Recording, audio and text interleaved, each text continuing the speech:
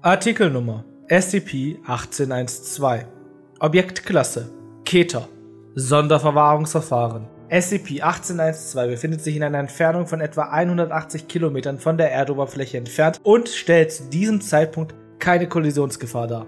Nicht mehr als 400 Mitarbeiter innerhalb der Foundation, eingeschlossen O5, O5 und der Astronomieabteilung von Standort 38 dürfen gleichzeitig von SCP-1812 wissen, da andernfalls die Gefahr besteht, dass sich das Wissen über die Existenz von SCP-1812 weiter verbreitet. Alle Fotos, bei denen die Möglichkeit besteht, dass sie SCP-1812 darstellen, müssen bei der Entdeckung vernichtet werden. Die Foundation überwacht derzeit 236 verschiedene Observatorien auf der ganzen Welt, um sicherzustellen, dass SCP-1812 nicht entdeckt wird und das Wissen darüber nicht in die Öffentlichkeit gelangt. Aufgrund der Auswirkungen von SCP-1812 auf die Wahrnehmung der Gezeiten ist es allen Personen, die von der Existenz von SCP-1812 wissen, nicht erlaubt, sich Gewässern mit einer Wassertiefe von mehr als 3 Metern auf weniger als 12 Kilometer Entfernung zu nähern. Im Fall, dass zwischen 1 und 10% der weltweiten Bevölkerung Kenntnis von SCP-1812 erlangen, ist die globale Freisetzung eines Klasse A-Amnesthetikum in Aerosolform durchzuführen. Sollten mehr als 10% der weltweiten Bevölkerung sich SCP-1812 bewusst werden, sind alle Küstengebiete zu evakuieren, da die Ausbreitungsrate des Wissens sowie die veränderte Wahrnehmung der Gezeiten voraussichtlich zu einer Überflutung von etwa 85% aller Küsten des Planeten führen wird. Eine nukleare Zerstörung von SCP-1812 wird für dieses Szenario als mögliche Option in Betracht gezogen. Warnung. Personen ohne Freigabestufe 3/1812 oder höher ist es untersagt, das folgende Foto zu betrachten. Der Versuch auf diese Datei ohne ordnungsgemäße Freigabe zuzugreifen, führt zu einer Degradierung, gewaltsamen Verabreichung von A-Klasse Amnesthetika, einer Neuzuweisung oder einer Kombination aus diesen dreien. Beschreibung bei SCP-1812 handelt es sich um einen unregelmäßig geformten Asteroiden, der die Erde in einer Entfernung von etwa 180 Kilometern umkreist. Der Durchmesser von SCP-1812 an seiner breitesten Stelle beträgt etwa 8 Kilometer. Weiterhin weist der Körper eine ungewöhnlich hohe Dichte von 670 Gramm pro Kubikzentimeter auf. Es wird derzeit angenommen, dass SCP-1812 vor etwa 3,2 Milliarden Jahren von der Schwerkraft der Erde eingefangen wurde. SCP-1812 befindet sich in einer retrograden Umlaufbahn um den Planeten und benötigt für einen Umlauf etwa 90 Minuten. Obwohl das Objekt nur etwa ein 437 des Monddurchmessers aufweist, wirkt es aufgrund der geringen Entfernung wesentlich größer als dieser am Nachthimmel. Abhängig vom Winkel des einfallenden Sonnenlichts durchläuft SCP-1812 mehrere Phasen, zunehmend, voll, abnehmend, neu, ähnlich dem Erdmond.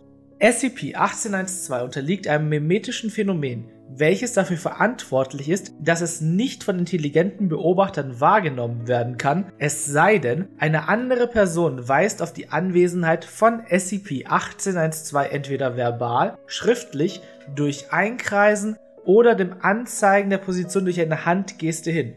Es ist dabei nicht relevant, auf welches Himmelsgebiet hingewiesen wird.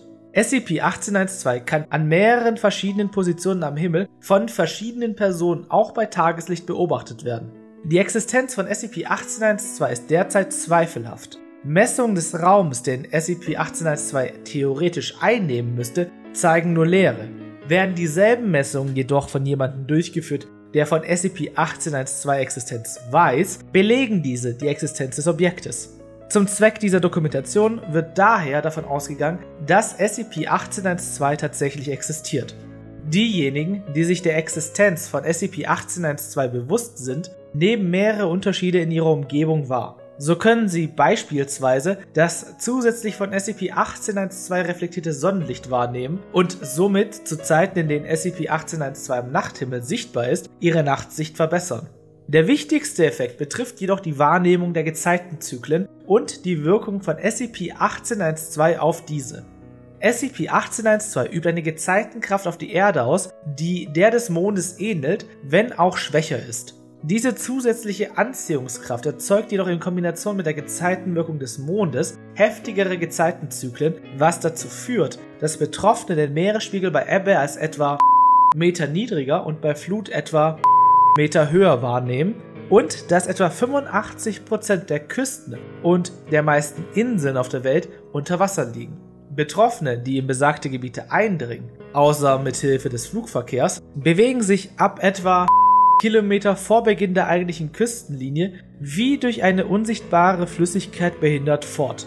Die Subjekte sind nicht in der Lage, durch diese Flüssigkeit zu schwimmen und haben große Schwierigkeiten, sich durch diese zu bewegen, was darauf hindeutet, dass die Flüssigkeit eine höhere Viskosität als Wasser aufweist. Sollte die Flüssigkeit die Köpfe der betroffenen Personen bedecken, beginnen diese zu ersticken und erleiden eine schwere Hypoxie. Essentiell ertrinken sie an Land. Dies kann durch den Einsatz von Atemgeräten wie zum Beispiel Tauchflaschen verhindert werden. Außerdem nimmt die gefühlte vulkanische Aktivität zu mit häufigen kleineren Eruptionen an vulkanischen Standorten, die manchmal zum Tod führen können.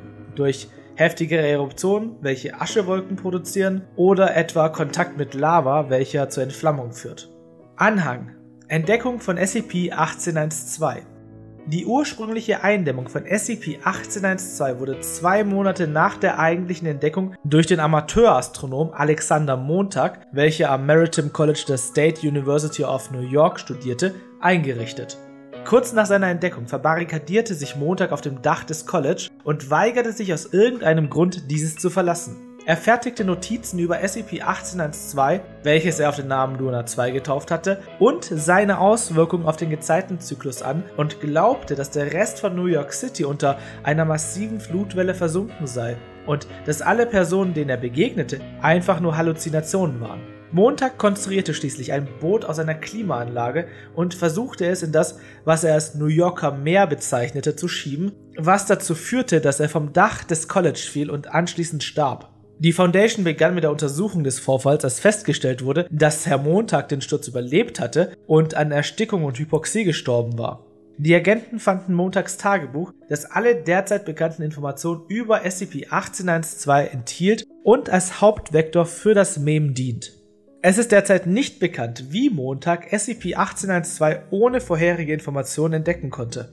Nachtrag Versuche von SCP-1812 betroffene Personen zu behandeln hatten bisher wenig Erfolg. Es gelang zwar, die Betroffenen davon zu überzeugen, dass die von SCP-1812 erzeugte Flüssigkeit nicht real ist, was ihnen wieder ermöglichte, Küstengebiete zu betreten, ohne zu ertrinken, aber dies hatte auch zur Folge, dass flüssiges Wasser generell nicht mehr wahrgenommen werden konnte, was ihren Tod durch Dehydrierung oder Ertrinken zur Folge hatte. Derzeit müssen Essentielle Foundation-Mitarbeiter, die sich dieser Behandlung unterzogen hatten, zu allen Zeiten mit einem intravenösen Tropf hydriert gehalten werden. Ebenso waren die Versuche, die Betroffenen davon zu überzeugen, dass sie keine verbesserte Nachtsicht aufgrund der zusätzlichen Lichtreflexion von SCP-1812 besitzen, zwar erfolgreich darin, hatte aber zur Folge, dass die betroffenen Personen nicht mehr in der Lage waren, stellares Licht, ob reflektiert oder durch direkte Einstrahlung, wahrzunehmen. Dies schließt auch das reguläre Sonnenlicht ein, und hatte bei den Betroffenen eine schwere Nytophobie zur Folge.